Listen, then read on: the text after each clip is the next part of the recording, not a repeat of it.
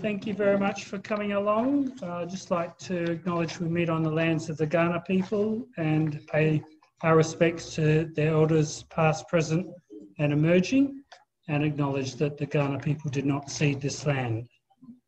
So thank you very much for coming along to our July Public Talks program. And um, we thank uh, Dr. Matthew Shaw for uh, his attendance tonight and his presentation. And we're also going to have a short presentation from Mike Moore, uh, and he'll um, give a little talk about his research. So we look forward to hearing from Mike. So I'm actually going to talk about Linnaeus tonight. So, um, and mo most, many, lot of you will know quite a lot about Linnaeus. So you probably won't learn anything tonight, although I doubt that because actually I learned a bit on the weekend about it. So that's always good, isn't it? Okay, so welcome to my talk, Taxonomy Part 1. Um, you may well have recognised that I haven't spoken for the last couple of months, but all good things come to an end and I'm back now to talk to you. So, okay. Um, Taxonomy, the science of and rules for the classifying of things or ideas. Um, we tend to use taxonomy, of course, mainly in the in the living sciences, but there are taxonomies in a whole host of other things. Jerry, could you just come and help move this little thing here? Um, and I'm I'm not going to to go through a, a whole lot of them at all. Um, it's just that if you've done any work in education, then you would be well aware of uh, Bloom's taxonomy with regards to uh, the use and reading of the English language. So, um,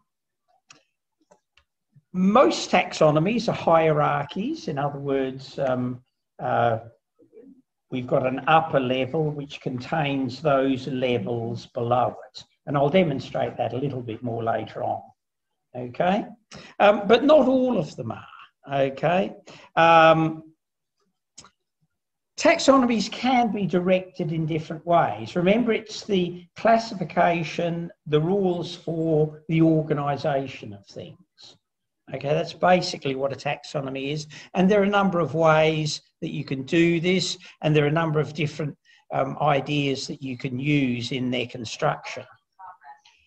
Now, I hate hearing myself. As a matter of fact, I feel so sorry for you lot out there. It's unbelievable. But nonetheless, the world has just granted us this. Carl Linnaeus, okay, 1770 um, to 1778, with, is, is credited with inventing the modern system. The interesting thing is that he didn't really invent the idea, as you'll see a little bit later on, and nor actually do we use strictly his uh, the scheme that he originated now. But he had the he had the idea. He moved people in the right way. His scheme was hierarchical, and we still use that today. And of course, there's this thing called binomial nomenclature, which he um, which is naming things using two names, hence binomial. So let's have a look at that. Let's have a look at that.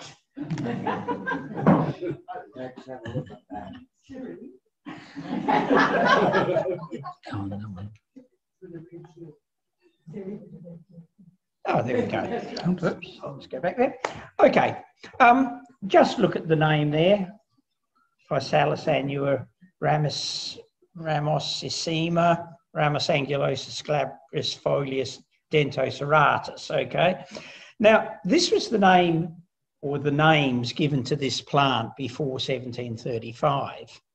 And basically, um, it means that um, it's an annual flower or it grows annually. It's branched the branches come out at angles, and glabrous means smooth, so they're hairless branches. And the, the, um, uh, the leaves, or pholis can mean flowers, but in this case it means leaves, are dentocerratus. They're dentated and serrated, okay? as you can see, that's a bit of a mouthful. You know, going going into a, uh, a nursery and asking for this, and a few other plants might take you most of the time you've set aside. So, um, what Linnaeus did was to convert this into. Um, oh, sorry. Now that was the name given in uh, by Linnaeus in in uh, 1758 to the wild gooseberry which was an American plant, comes from the southern United States. And when you think about it, you know, American um, things would have just been getting into Europe to be named. But after 1758, it was simply called Physalis angulata. And uh, over on the left there, I've got um, uh, a butterfly, um, Ogyris amaryllis. And um, Ogyris is the genus name, Amaryllis is the species name. And that is the basis of Linnaeus's binomial system. It's made up of two names, one which is the genus, one which is the species. Okay? Um, this system had been dabbled with in the 1500s, which when you think about it, you know, this is the, the mid 70s or the early 1700s. 200 years earlier, people had come up with the idea that you could name things just using two names. And of course, we use binomial names, of course, ourselves. Okay, um, that's that's me. Um, okay, I'm the genus is Moore, uh, and the specific name is Michael. Um, I can even be more specific, of course, by putting my middle name in there too. But it's actually it's interesting that many cultures um, on Earth actually put the genus name first, and so um, that even fits more tightly into this binomial naming system. Fan Feng was actually the, the young lady who constructed our, um, our second website. So, he used a hierarchical system. In other words, the one at the top contains everything below. So, the, so in a kingdom, there are classes, orders, genera, and species. In classes, there are orders and genera and species. In, in the genus, there are numbers of species, but there's only one specific thing called that species. Okay, so that's what we mean by a hierarchical system. Um, now we've added extra, and as you can see there, we've added quite a bit. Um, uh, phylum, family, tribe, subgenus, subspecies. Not all of these are used all the time, but particularly in the insect world, it, um, it's particularly useful, for instance, to use tribes and things like that. Okay. So if we look at this butterfly here, this is in the kingdom Animalia, so it's in the animals. Phylum Arthropoda, okay, so that includes insects, crustaceans, centipedes, spiders, um, uh, and millipedes, and a few other things too. It's in the class Insecta, well, most of us would be well aware of that. The order Lepidoptera. There are other orders in the class Insecta, and of course, they're beetles and dragonflies and wasps, etc., etc., etc. It's in the tribe Candelinidae or Candalidini. Okay. Um, uh, the genus has just been changed actually in the last year. It used to be Candalides, but uh, Mike Braby has done quite a lot of research on this group of butterflies. And um, where there was one genus, there are now four. And this particular species has been put in the genus Erina. Subspecies Hyacinthina, okay. Uh, Mike's very, very particular on matching if it's a female genus, then the species name's got to be female too. And um, the same with the subspecies name. And he's very, very precise on this. So hyacinth, hyacinthinus has now become hyacinthina. That's one of the few changes you can make. This butterfly will always be called hyacinthina, cynthinus, um, even if it changes its genus as it now has, and subspecies simplexa. Oops, we're almost finished. Um, he was mainly interested in identifying things. And so if you look at Linnaeus's plant keys, his plant keys are based on this plant has got one stamen in its flowers. This, these plants have got two, these have got three, these have got four, or five. Now, those ideas are not strictly ideas on relatedness. Okay, they're useful for identifying things, but they're not quite as good for showing relationships. And these days, we're much more interested in our taxonomy reflecting relationships, not just identifying. Okay? And um, these days, of course, we can use DNA, and we do. And the DNA helps us find those relate relationships between organisms. Okay? And so if we take a, uh, interesting things happen. For instance, uh, if we take a bird example, um, magpie larks or mudlarks, whatever you like to call them, um, it's actually been quite a while now, probably about 15 or 20 years, but we now realise that they're more closely related to wagtails and fantails than we thought they were in the past.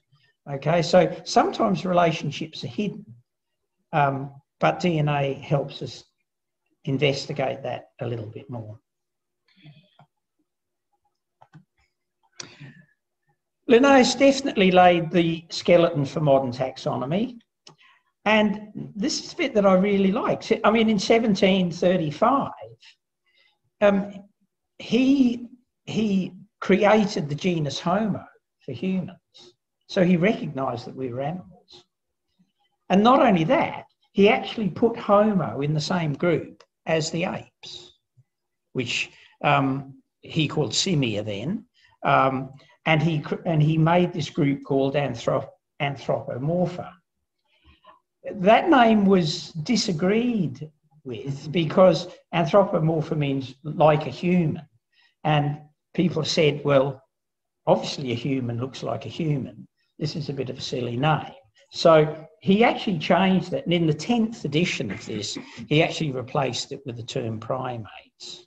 But um, this comes from uh, that little image there, um, just um, uh, comes from the, the 10th edition from 1758. Last thing I'm going to say now, before you've got any questions, species also carry the name of the describers.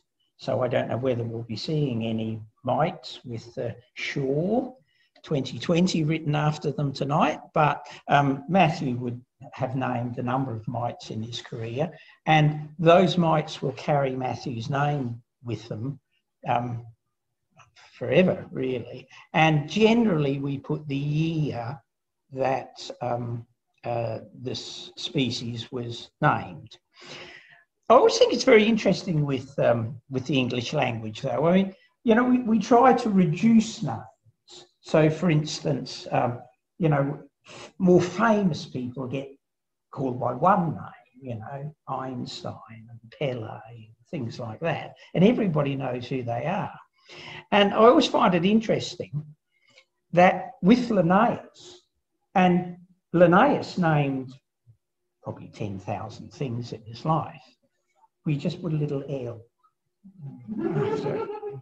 So we've even reduced that one name to something less. So anyway, so um, I don't know. I, I hope I've introduced it well. I'd, I want to talk a little bit more about, um, you know, sort of probably more meaty and meaningful taxonomy a bit later. Uh, not tonight, of course, fortunately for you.